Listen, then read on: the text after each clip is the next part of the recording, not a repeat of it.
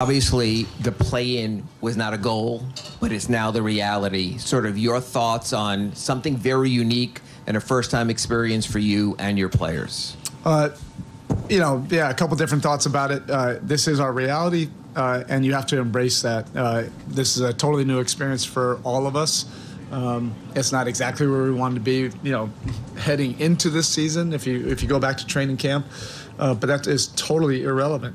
Um, you know, we have uh, this in front of us, and it's competition, and it's it's it's great competition. Um, you know, with a lot at stake, and uh, you know that is something to to look forward to. Um, you know, particularly with the competitors that we have in our locker room.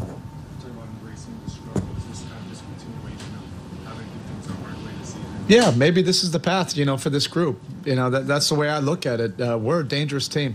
You know, we're, we're finding our health. We're getting uh, uh, you know, a, a confidence about how we're playing.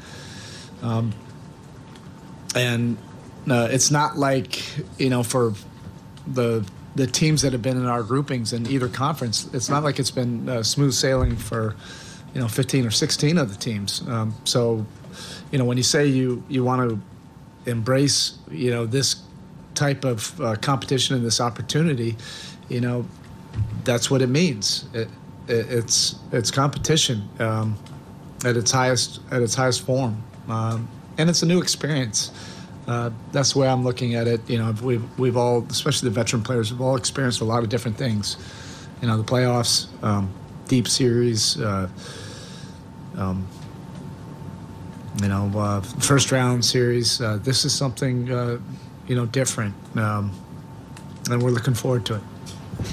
Were the, were the, what were the takeaways out of the game for the players who played? What sort of stood out to you or was noteworthy to you? Uh, yeah, we were never really able to get our footing on this game, you know, and take control of it. Uh, and that was on either end of the court. You know, I thought we really started out uh, in the first quarter, moving the ball great, getting the type of shots that uh, we have been getting the last few weeks. Uh, and that, that deteriorated a little bit, and you do have to credit uh, Washington, you know, for that. Um, defensively, we were never able to to really grab hold of it, um, whether we were in our man or our zone. Um, so that led to some some frustration uh, and and some uneven play.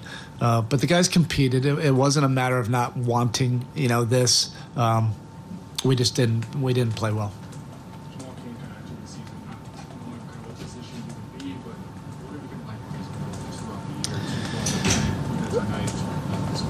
He is a, a, and I can say this about so many other guys in Sioux Falls, uh, but um, Cain has a, a great spirit uh, about him every single day. Uh, he's a breath of fresh air. He comes in uh, wanting to work, wanting to get better, puts a smile on everybody's face. Uh, he has a way of of competing and working with great intensity, uh, but in the moments in between, he's just a great guy. He's, and that's why he has so many people rooting for him you know, so much of this league for a young player is the right opportunity, the right timing, but also people rooting for you and trying to set you up for success. And Jamal um, has definitely got a lot of people in his corner. Erik, Toronto just lost in Boston. It'll be you against Atlanta. You went three and one against them in the regular season, but so often we hear playoffs, postseason play in is a different experience. Your thoughts on taking on the Hawks again? Uh, yeah, it feels like we just played them. You know, not, not only the regular season, but you know, last year uh, in the playoffs. Uh, this will be a different format. You know, so let's go for it. Let's do it.